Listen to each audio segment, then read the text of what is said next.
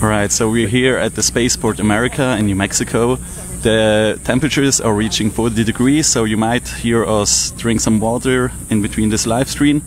I'm here with Oliver, CEO and founder of ARIS. Say hi. Hello. So, Oliver, why did you found ARIS and what's what's the idea behind it? I was part of uh, last year's team, combined EPFL and ETH students, which was at the spaceport already, and it's such a cool thing to be here that I was really fond of doing it again for the next year, and also I really wanted to create something uh, which enables students to live their dreams and build something in a team which you usually don't do. Alright, so you will have to excuse the pun, but it really took off. Um, where do you think it's now, and like, are you proud? Yes, I am. I mean, it's a really cool team that we have here together, and we I think we achieved quite a lot. Uh, the last year was really intense. We built up our own team. We have a really cool system, and I'm really thrilled to see how good it performs now. What we can learn out of it. Cool. So um, let's talk about more specifics about the rocket. What can you tell me about the length, the weight?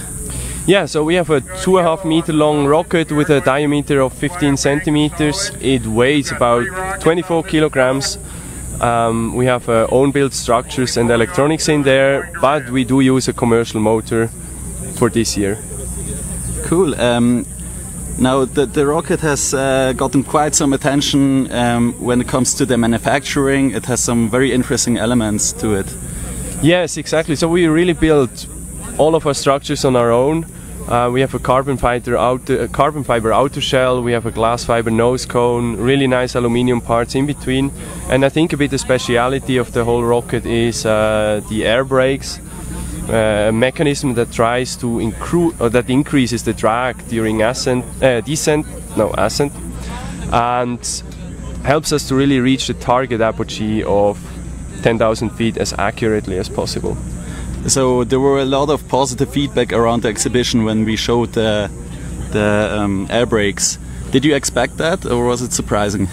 It was a bit surprising for us because we thought really we like the first year here we, we, we didn't build rockets really before and I mean air brakes are a bit a critical system we don't really know uh, we didn't know how we do it how we should do it even now we have this like critical aspects in it and we really have to see we're really looking forward how it performs and how we can improve it the, for the next year as well.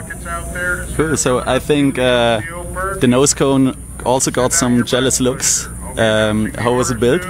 Yeah, so the nose cones, there was, were uh, two students which mainly put a lot of effort in it to really manufacture manufacture it on their own. Um, was, they used uh, glass fiber prepreg and made a really nice nose cone out of it in the autoclave. Several night shifts on it. Um, painted it nicely. A lot of features in it to to enable also interaction with with the engineer on the pad and so on. So really interesting piece. Cool. Um, now we're still waiting for the security check and for the red flag where the uh, rocket will launch. Um, now, in general, when you look back at the project, are there like things that you might improve or that you're really proud of? Oh yeah, there's a lot of things. So it was really very intense year. Um, we started off in September with the idea. In October, we kicked off with the team. Um, we did a huge transformation as the whole team, and I think we're still transforming quite a lot. Um, for us, it's I think there's a lot of challenges. Of course, we have technical challenges, but also we have like a lot of organizational channel challenges and challenges as a team. How do you work together? Everybody's a bit special. Um, a lot of people with a lot of knowledge, and how do you bring them together that they can really perform as a whole?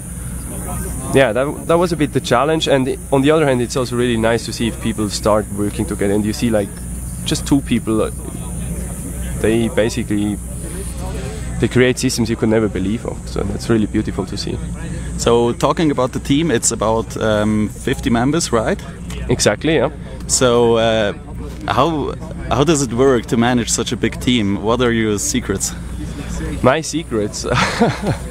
I'm relying a lot on the team in the end. Um, it was really hard in the beginning to set something up and you drive it a bit and then try to give it over, hand it over to the team. But I think we start working on that and we really start performing on that.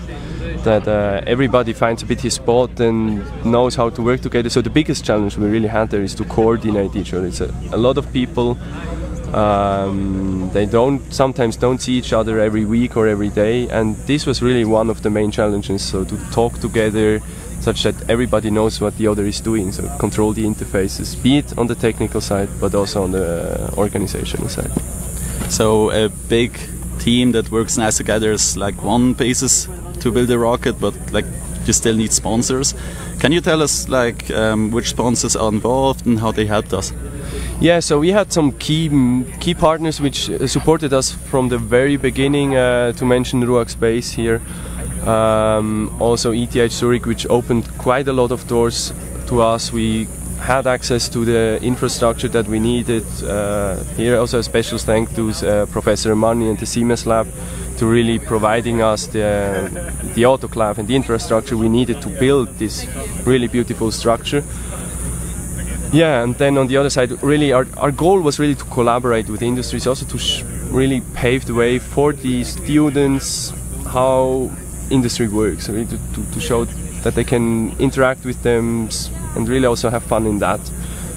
Yeah, so it was really this mixture of industry and, and uh, school sponsors in the end. And then we also got uh, quite a lot of kick from uh, private people, which really helped us to, uh, to achieve the goal we have here.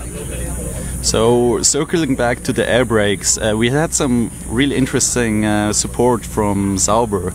Can you tell us how this came to be and how they supported us? Yes, this was a very interesting story. So at uh, some point in time we needed a, a, wind tunnel because we realized, okay, we have these air brakes, we don't really know what's the influence of them on the rocket.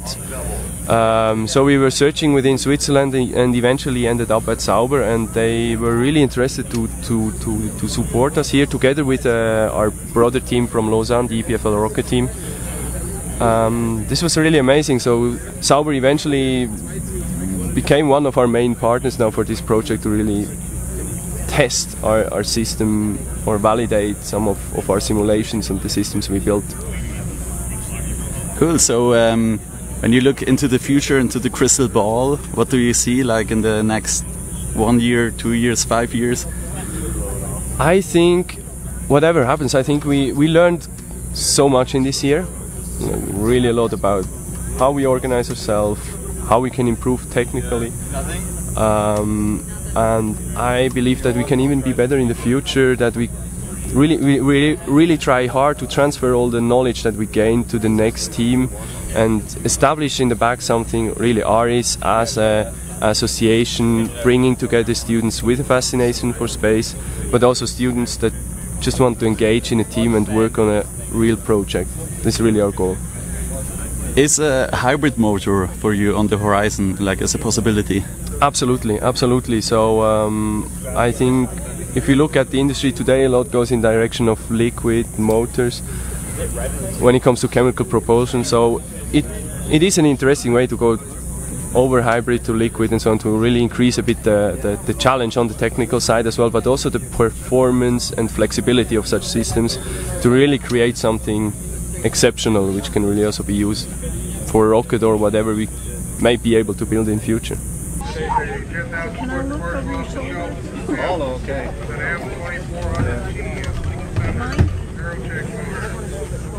Yeah, the architect is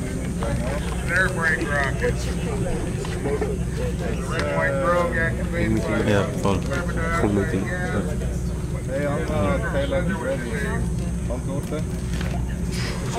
So our rocket has just been announced and we're waiting for the countdown. Our team is super thrilled here. Yeah, time to lift off. Yeah, looking good. How nervous are you on a scale Super of 1 nervous. to 10? 10, 9, 7, 6, 5, 4, 3, 2, 1, lift. Nice. Yes.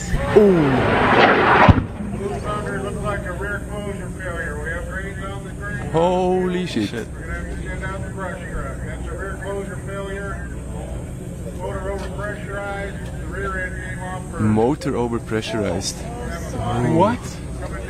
Was it because it wa- was too long on the? No idea. Holy shit.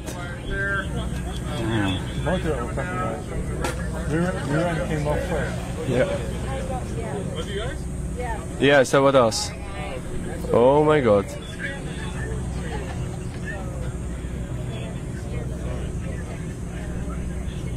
Holy shit. Yeah.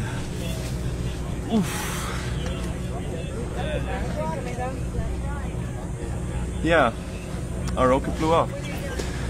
Did. Um, So the first thing we heard is that the motor uh, was overpressurized, so our rocket made it approximately 300 meters. Um, it was a commercial motor. Will be interesting to find out what the problem was.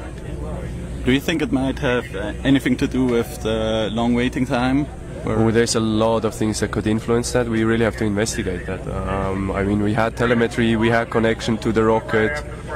so we can like gather some data, Yes, find out what happened. we have to. I mean, we have to find. It's gonna be hard because it seems to be split quite a lot all over, but we'll see.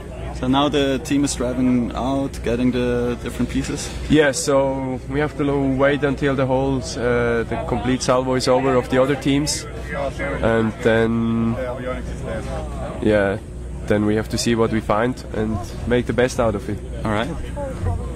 Cool. Yeah, so we have to look. all the brush truck goes and checks out. Holy shit!